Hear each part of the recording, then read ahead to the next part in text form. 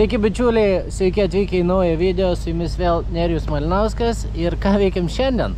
Šiandien esame Šiauliuose. E, Šiaulių estradoje vyksta policijos ir visuomenės šventė. Policija rodo savo visokią naujausią techniką. E, Mes su Šarūnu nesenai atvažiavom ir įsikrovėm motociklus ir ruošiamės, nes darysim pasirodymą. Pasirodymą su pareigūnais iš tikrųjų daro ne pirmą kartą. Mes e, turim su jais netgi specialią programėlę, kur visi kartu įvažiuojam, tada mes ten kartu su jais darome pasirodymą. Aikštelė gera, e, gaila šiek tiek šlapia, bet e, danga atrodo visai nauja. Užsidėjau dūminių bombų, geltoną, žalę, raudoną, čia manau policijai labai patiks. Tuvybės ženklas, kaip sakyt. Dabar su Šaru biški panikuojam, kaip visada prieš pasirodymus toks lengvas jauduliukas. Manau, kad dabar bandysim pravažiuoti, e, pasidarysim lengvą treniruotę ir po treniruotės visada dažniausiai viskas atslūksta ir viskas gerai būna. Tai pasižiūrim, kaip čia mums seksis ir let's go!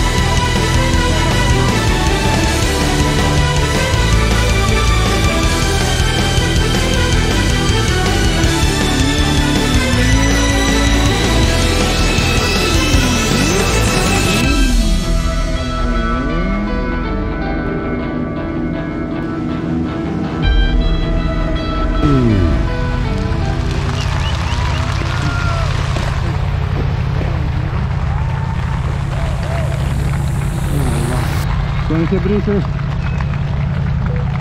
Qual o problema que você brinca?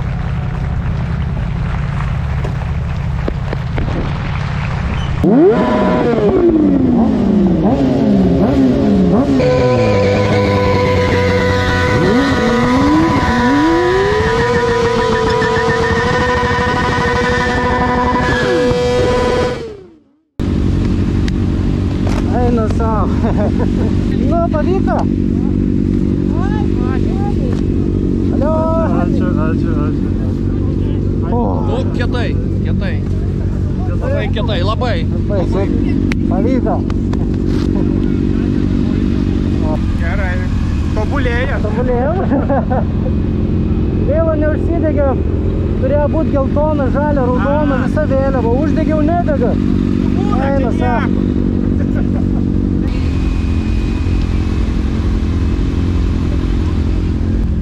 Чем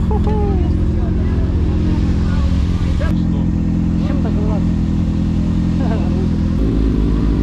Я бы делал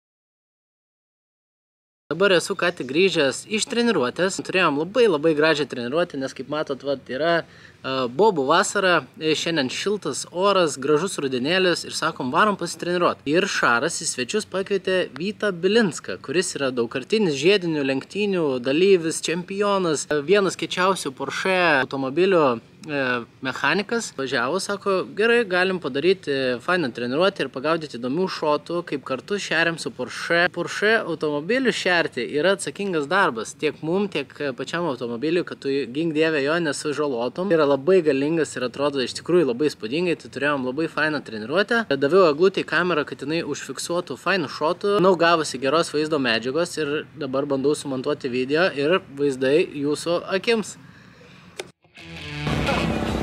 Premium klasės automobilis.